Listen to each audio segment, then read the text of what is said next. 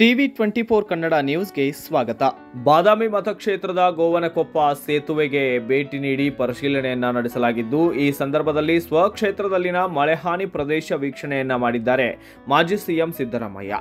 ಮಲಪ್ರಭಾ ನದಿಯಿಂದ ಜಲಾವೃತವಾಗಿರೋ ಗೋವನಕೊಪ್ಪ ಚಿಕ್ಕ ಸೇತುವೆ ಇದಾಗಿದ್ದು, ಮಳೆಯಿಂದ ಹಾನಿಯಾಗಿರುವ ಬಗ್ಗೆ ಅಧಿಕಾರಿಗಳಿಂದ ಮಾಹಿತಿಯನ್ನ ಪಡೆಯಲಾಗಿದೆ. ಪರಿಹಾರ ನೀಡುವ ಬಗ್ಗೆ ಅಧಿಕಾರಿಗಳಿಗೆ ಸಿದ್ದು ಖಡಕ್ ಸೂಚನೆಯನ್ನ ನೀಡಿದ್ದು ಜಲಾವೃತವಾಗಿರುವ ಬೆಳೆಗಳ ಬಗ್ಗೆಯೂ ಕೂಡ ಮಾಹಿತಿ ಪಡೆದಿದ್ದಾರೆ ಮಾಜಿ ಸಿಎಂ ಇದೇ ವೇಳೆ ಗೋವನಕೊಪ್ಪ ಹೆಬ್ಬಳ್ಳಿ ಸೇರಿದಂತೆ ವಿವಿಧ ಗ್ರಾಮಗಳಿಗೆ ವಿಸಿಟ್ ನೀಡಿದ್ದಾರೆ. ಸರ್ ಸರ್ ಸರ್ ಸರ್ ಪರಿಹಾರ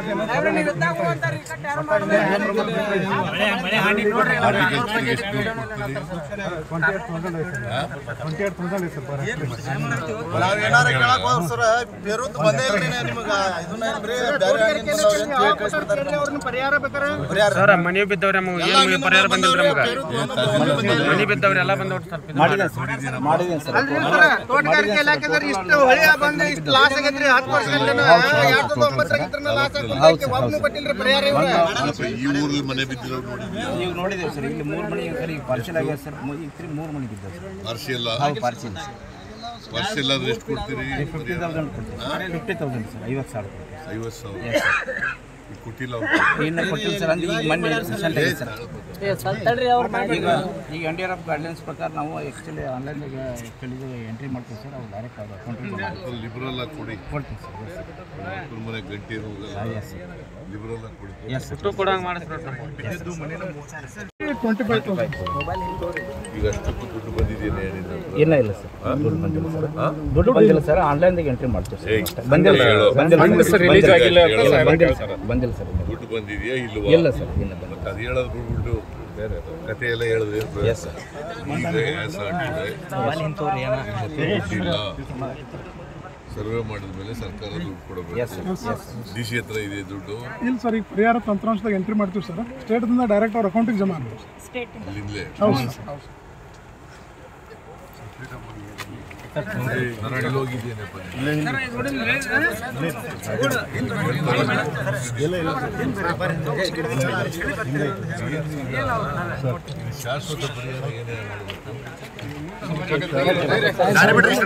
ಶಾಶ್ವತ ಪರಿಹಾರ ಅಂದ್ರೆ ಬಿಡ್ ಮಾಡ್ಬೇಕು ಸರ್ ಇದು ಒಂದು ಇಪ್ಪತ್ತೈದು ಸಾವಿರ ಅಂದ್ರೆ ಬಿಲ್ಡಿಂಗ್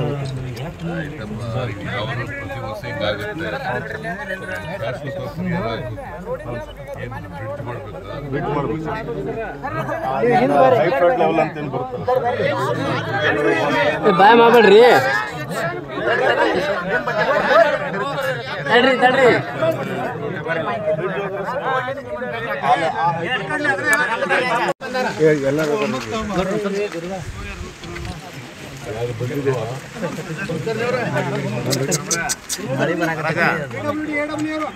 ಈ ಕಡೆ ಬರ್ರಿ ಜ- ಜ- ಜಾಗ ಬಿಡ್ರಿ ಅವ್ರಿಗೆ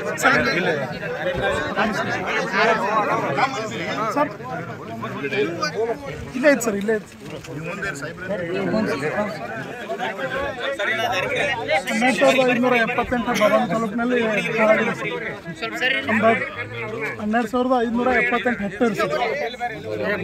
ಹದಿಮೂರು ಸಾವಿರ ಸರ್. ಅಂದಾಜು ಹಾನಿ ಒಂದು ಎಂಬತ್ತು ಹೆಕ್ಟೇರ್ ಸರ್. ಸರ್ ಮೇಜರ್ ಮೆಕ್ಕೆಜೋಳ ಸರ್. ಮೆಕ್ಕೆಜೋಳ ಒಂದು ಏಳು ಸಾವಿರ ಹೆಕ್ಟೇರ್ ಆಗಿದೆ ಸರ್. ಹೆಸರು ಒಂದು ಐದು ಸಾವಿರ ಹೆಕ್ಟೇರ್ ಸರ್. ಮಳೆಗೆ ಭಾಳ ಹಾನಿ ಆಮೇಲೆ ಹ್ಞೂ ಸರ್. ಆಮೇಲೆ ಸೂರ್ಯಕಾಂತಿ ಸ್ವಲ್ಪ ಮೊಬೈಲ್ ಹಿಂದೆ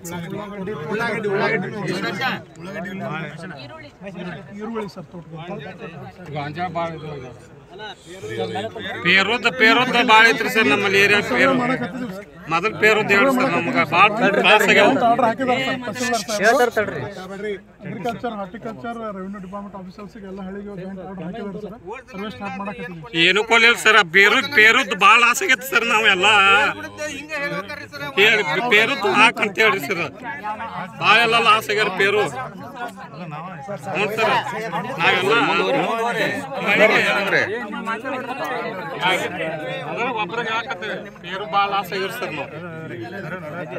Bureau report, TV twenty four Kannada news, Bagalkote.